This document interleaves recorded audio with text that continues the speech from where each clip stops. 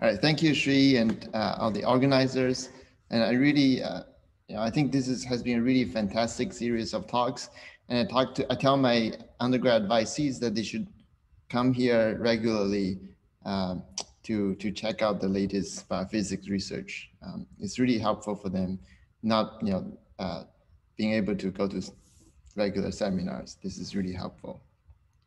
And today I'm really excited to talk about our recent work on how the speed of a molecular motor, in this case, the RNA polymerase, can dramatically redefine a, a regulatory genome of a cell.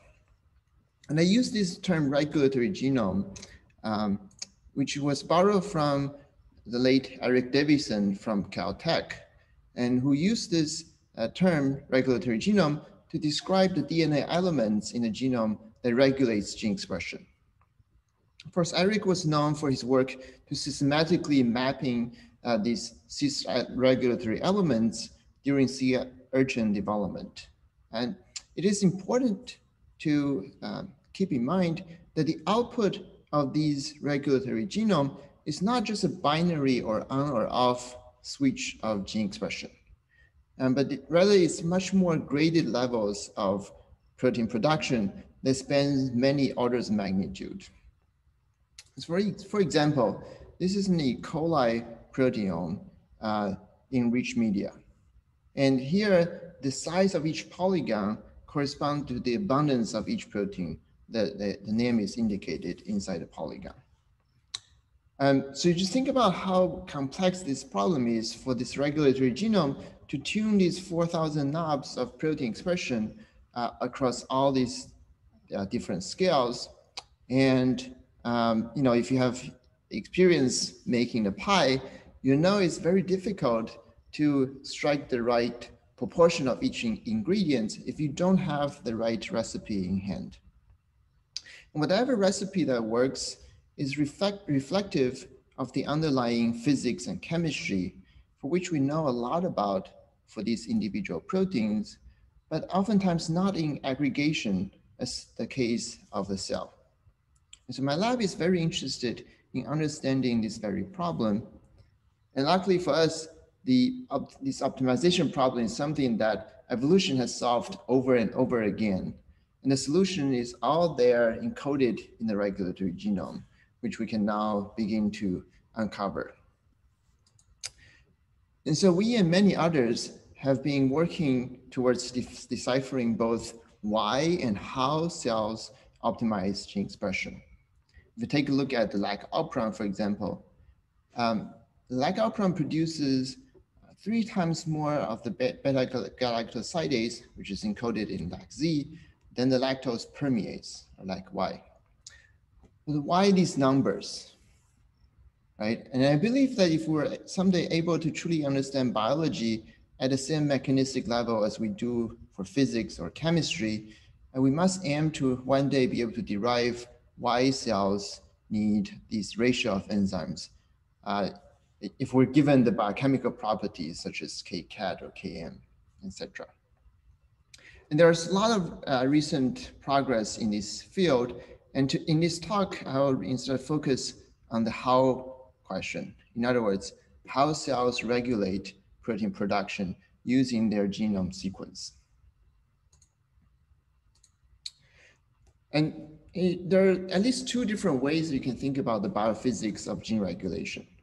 Many of you are probably familiar with the thermodynamics model for transcriptional regulation, in which the promoter can be in different states of transcription factor binding, and the statistical weight of each state is related to the affinity of the transcription factors and its entropy, and so on. This type of model has been really useful in describing the bacterial transcriptional um, control, um, but after transcription has initiated, everything is about kinetics. Where you have these RNA polymerases that zip through the DNA, and you have these ribosomes that zip through the RNA. And many regulatory processes take place at this stage. There's no timescale separation often that allows us to use quasi uh, equilibrium approximation, uh, and we have to think about the kinetics. So for example, the RNA and proteins would fold while these motors move along, and many proteins and small molecules can interact with the nascent chain that ultimately determines the fate of the RNA and the fate of proteins. And more so in bacteria, at least the relationship between these two motors are even more intimate. Right? So bacteria lack the nuclear envelope, and not only can transcription and translation take place at the same time, they can physically associate and kinetically couple during transcription and translation. In other words, these two motors will move at the same speed. And many important regulatory mechanisms are built upon ribosome's ability uh, to modulate the fate of the transcribing RNA polymerase. For example, RNA, the, a, ribosome can block two main uh, pathways for transcription termination by sterically blocking these uh, hairpin formation of the intrinsic termination, or by blocking the axis of this helicase Rho that would grab normally grab onto the RNA and then terminate RNA polymerase. Uh, this kinetic coupling therefore enables the polymerase to sense, for example, the lack of amino acids, which would stall the ribosome and in turn attenuate transcription by modulating the termination uh, hairpin formation. This also enables important mRNA quality control mechanisms whereby the polymerase um, that puts a, premature stop codon accidentally uh, is then uh, leading to uncoupling between transcription and translation and allowing Rho to come in and aggressively terminate all transcription that have this type of uncoupling. Uh, so these examples illustrate, I think, the um, how transcription and translation coupling is considered a cornerstone of gene regulatory uh, processes in bacteria, and also very um, deeply influences how we think about their genomes. Um, but of course, we like to think about E. coli is everything, but of course, um, it turns out that most of the evidence uh, from coupling are indeed coming from E. coli, but it only represents a small island in this large um, bacterial world that has been on Earth for billions of years. And whether kinetic coupling is indeed occurring in most of these species is actually unknown, even for another uh, really widely studied um, organism, Bacillus subtilis. And so, so we're going to uh, focus today's talk on uh, the distinction between Bacillus subtilis and E. coli. And we actually stumbled upon this area um, accidentally when when a physics graduate student in lab, John Benoit Lalanne, uh, made a very intriguing observation. So at that time, John had just developed a uh, end-enriched RNA sequencing we call Rend-seq that allows us to quantify the RNA isoforms in a cell and also to map the boundaries of RNA with single nucleotide resolution. Um, and John was staring at his data that looks like this when you have sort of steps of RNA associated with peaks that marks the 5' and 3' ends. He noticed something really strange to him. He noticed that the stop codon of the upstream gene is really close to the terminator hairpin for transcription. And he was just learning molecular biology at that time, and he realized that this would pose a problem because the, upstream, the downstream ribosome uh, would in principle block this hairpin from formation um, and therefore would this, make this termination not functional. And, and, but he can quantify this really well that the polymerase terminates 98% of time as if there's no ribosome behind the RNA polymerase. So that led to uh, this hypothesis of him uh, that proposed that maybe transcription and translation is not kinetically coupled in Bacillus subtilis. And that would have really important consequences I uh, talked about in the introduction that would lead to a completely different set of rules for gene regulation in Bacillus. So I'm going to give you uh, data that confirms these hypotheses and also the predictions that we made. Okay, so this is when another graduate student, Grace Johnson, joined this project. And we decided to use a very classic assay to measure uh, kinetic coupling between transcription and translation in E. coli and see if indeed those are happening or not in Bacillus subtilis. And this assay is actually quite interesting to think about. Um, it's all based on a simple induction system that you can turn on transcription really fast by uh, IPTG. Right? So IPTG binds to the LAC repressor, making it fall off from, from the promoter really quickly. And it, then it still takes some time for the polymerase to transcribe through the gene, right? And so you after you add IPTG, you take some time before you start to signal, uh, see the signal accumulate over time. Uh, that indicates when the first RNA polymerase actually reaches the end of that gene. So afterwards, you start to see the transcript levels start to accumulate linearly. Of course, that's before RNA decay kicks in.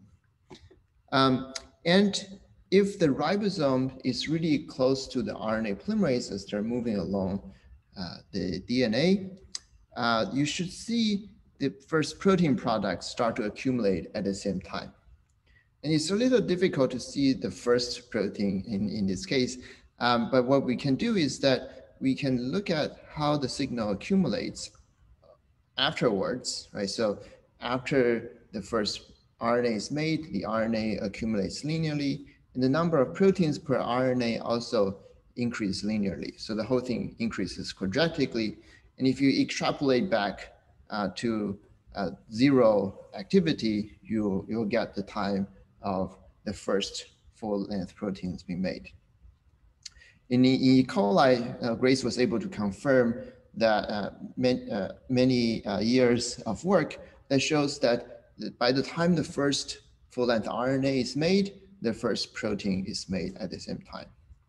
But this is not true for Bacillus subtilis.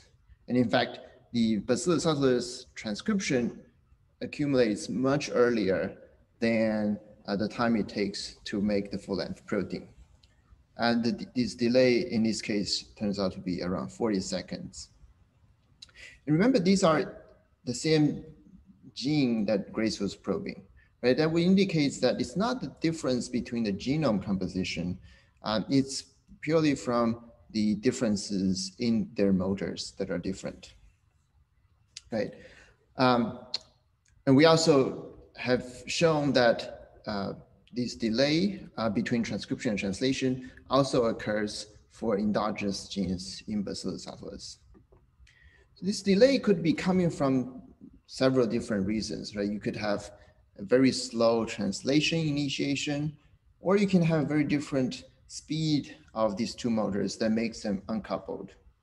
Um, so to test these scenarios, what Grayson did was to truncate one of her reported genes by 300, 3,000 nucleotides and use the difference in timing for transcription and translation to calculate the velocity or the speed that the polymerase or the ribosome would take to translate or transcribe this full region.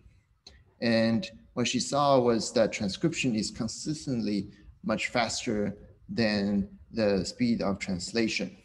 So we call this runaway transcription because the RNA polymerase sort of outpaces the, uh, the pioneering ribosomes. Um, so if we think about put these numbers into a cartoon, uh, this would look like something like this, right? So by the time that the RNA polymerase transcribes a typical length uh, of a thousand nucleotides, it will lead to about uh, 360 nucleotide separation between these two motors. And that would have important consequence in that the RNA polymerase should not be sensitive to translation.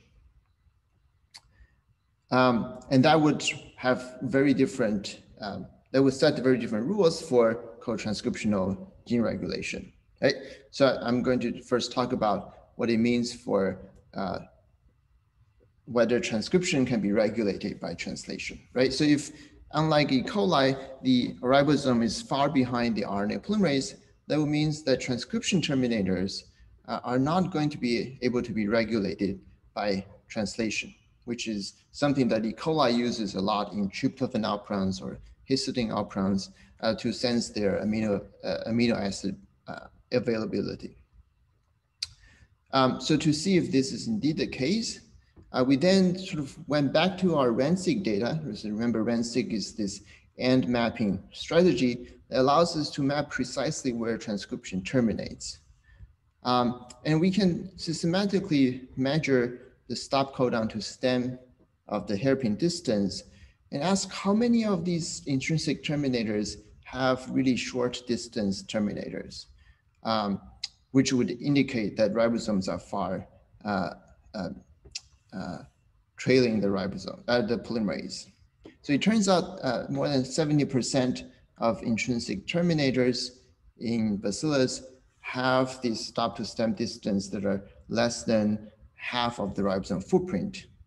And this is quite different from the case in E. coli, where uh, only a quarter of those are short distance. And these quarter of terminators actually has really low uh, termination efficiency. So they're crappy terminators, indicating that ribosomes are probably interfering with their termination activities. So a lot of terminators are terminating without the ribosome behind it. Even for the ones that are out here where we have long distances between stop codon and terminators, we can force transcription or we can force translation through the uh, terminator and we will still get just really good termination, indicating that again, there's no ribosome behind the polymerase. So I think most of the transcription in Bacillus probably happens without a closely uh, trailing ribosome. And this would explain uh, something that has been noted anecdotally, um, but it all of a sudden makes sense now that in bacillus, uh, they tend to have very few or almost no ribosome mediated transcriptional attenuation, uh, but instead they use uh, riboswitches a lot and they use RNA binding proteins to regulate their transcription uh, co-transcriptionally, right? So this sort of explains the different space of possible gene regulatory networks that are allowed between E. coli and Bacillus subtilis. The other important consequence is that Rho, this termination factor Rho, cannot possibly participate in mRNA quality control. As you remember, I sort of introduced you that Rho is this termination factor in E. coli that will grab onto nascent RNA that's not protected by ribosomes and use that as a control, a quality control mechanism to remove aberrantly transcribed RNAs. Um, but this is, if this is also happening in Bacillus, that would indicate that you know, most of transcription events are not going to be productive because there's no ribosomes to protect the RNA from Rho binding. And this is indeed the case meaning that Rho is prohibited from accessing translation, uh, uh, nascent transcripts. So for this gene, for example, PYCA, that Grace know that uh, transcription and translation are uncoupled.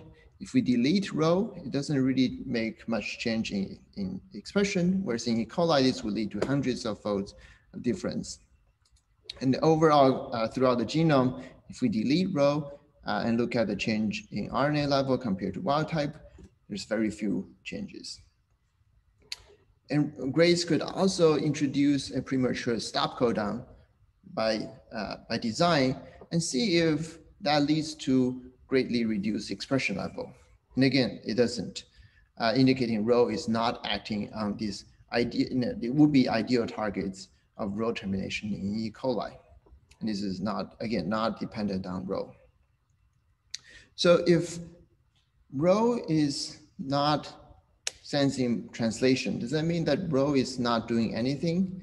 And it turns out Rho is actually uh, quite important in Bacillus subtilis uh, in terms of terminating. Oh, by the way, I should say that this uh, experiment also shows that there's no quality control for nonsense mRNA in Bacillus subtilis. That's quite striking to us because uh, it's once thought that these uh, mechanisms to remove RNAs that has a premature stop codon is a universal feature in our life because E. coli has it.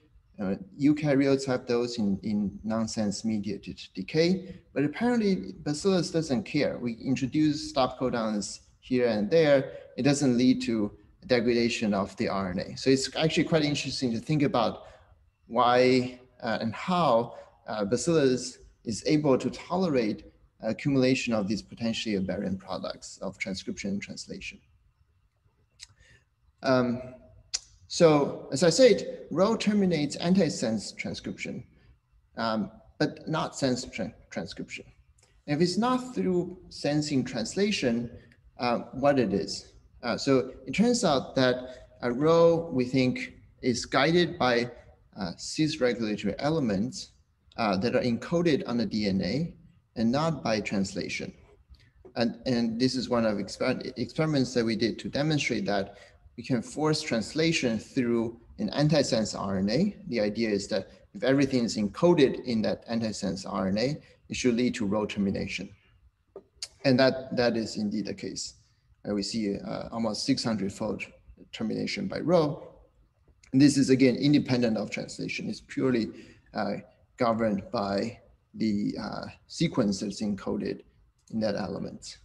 So I think it's likely that Bacillus subtilis genome have evolved to avoid Rho termination uh, sequences, so these specific motifs that we have not yet found in sense RNAs, um, but they're evolved to not have those in, uh, sorry, to have those in antisense RNAs, right? So they would have uh, the antisense RNAs being prone to uh, Rho-dependent termination, but not the sense RNAs.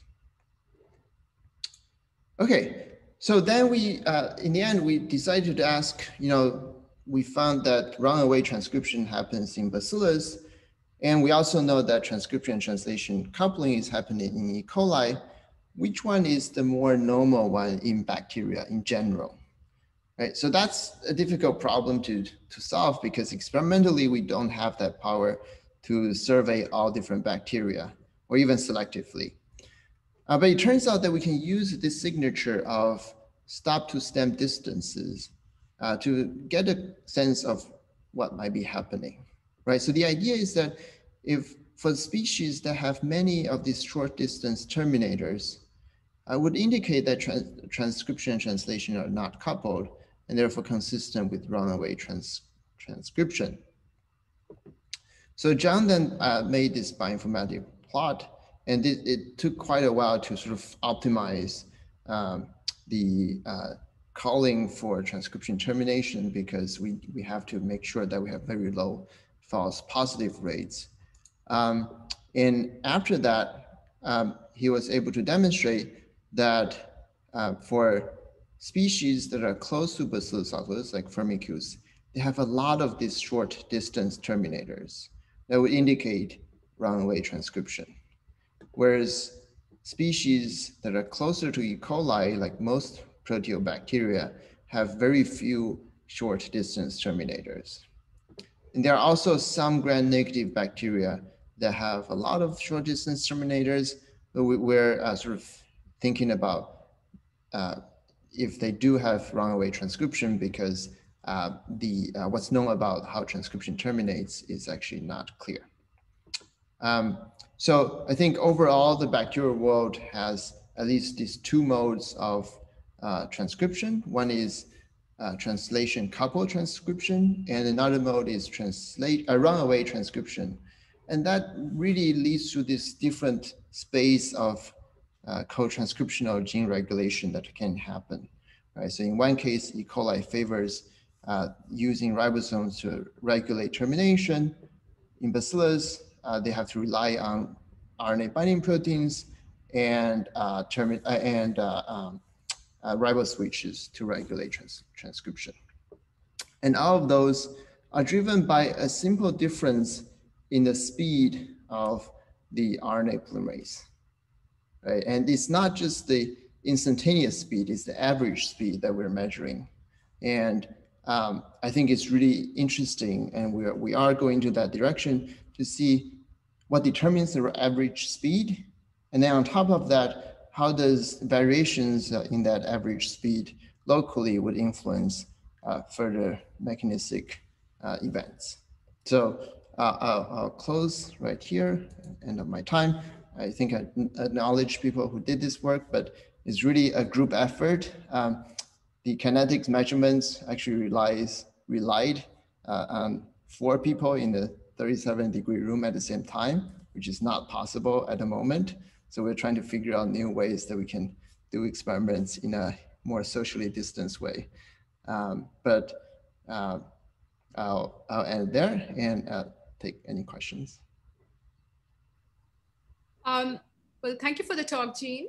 Um, uh, we have a shy audience today, so um, waiting for more questions to stream in. I encourage all of you to participate and ask us what you're thinking. Uh, in the meantime, uh, a question from Rudra Biswas.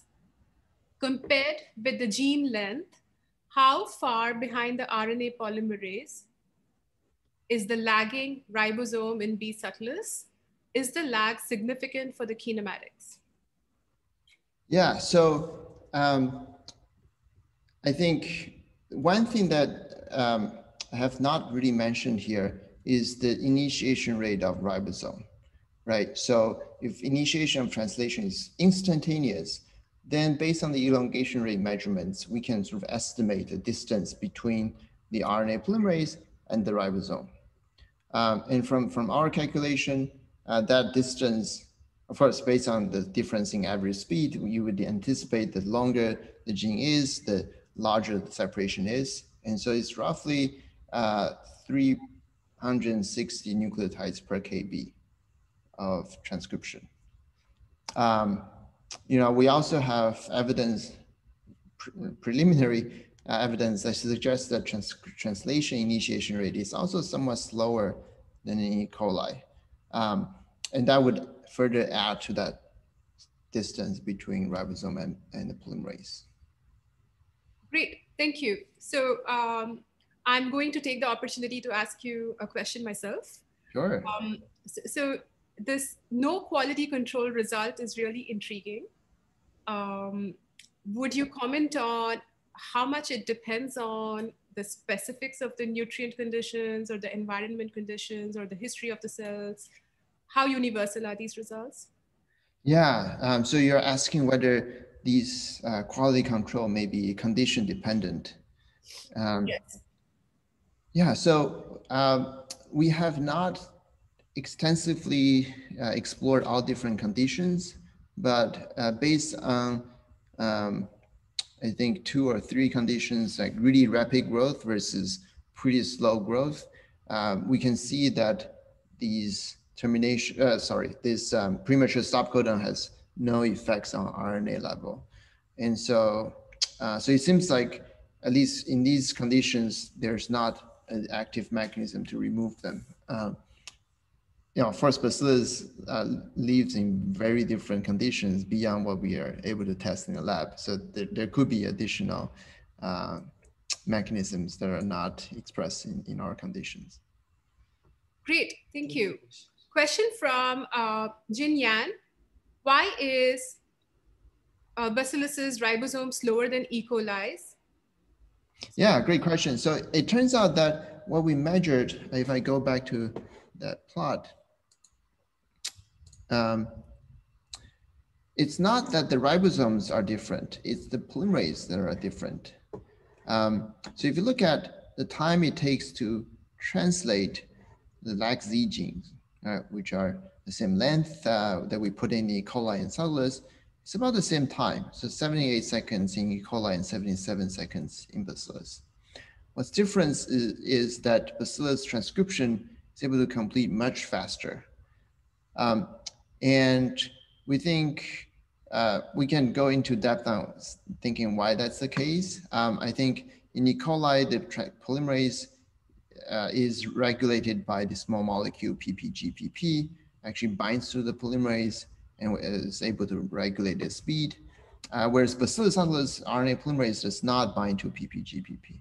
So maybe that binding is sort of slowing the E. coli polymerase down. Uh, and we don't think that ribosomes can be much faster or slower because uh, both of these species can double at 20 uh, minutes doubling time. And you do need a lot of ribosomes working at 16 to 20 amino acid per second to really complete completely double the cell size. And um, I think it, it, sort of has re potentially reached the limit of how fast uh, translation elongation can go. And I don't think it's to them to their advantage to slow down at this growth rate. Great. Um, one more question, and then we'll save the rest for um, informal discussions. Uh, from Nancy Ford at 1128. If you could slow down the RNA polymerase down in subtilis, do you think the organism would survive? Forced coupling of transcription and translation, that is? Or is it too evolved towards runaway transcription? Yeah, you can imagine that if transcription is slow, you would have a lot of read through of all those trans transcription terminators, which can be detrimental. And so we were actually very curious about this question, and we have been trying to isolate mutants that leads to slower transcription. Uh, we have not been able to find mutants or growth conditions that would lead to transcription translational coupling. Uh, so it's hard to answer that question uh, specifically. Um, I think that's something we're very interested in, and and you know, uh, I think it would be really cool to see if we, we can or cannot force transcription and translation to be coupled.